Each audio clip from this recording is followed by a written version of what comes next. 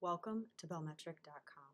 Today we're going to look at how you use a metric pitch gauge. So this gauge here has length in centimeters along this edge, diameters down the middle, and all the different pitches down this side. You're going to take your bolt and you're going to line it up with which diameter hole it best fits. So you can see this is a 12 millimeter bolt. Next, we're going to measure the length. You measure the length of a bolt from underneath the head to the end. So this bolt is 100 millimeters long.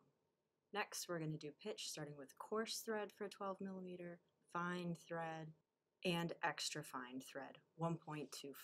So this bolt in total is an M12 by 1.25 by 100 millimeters long. Thanks for watching. See you next time.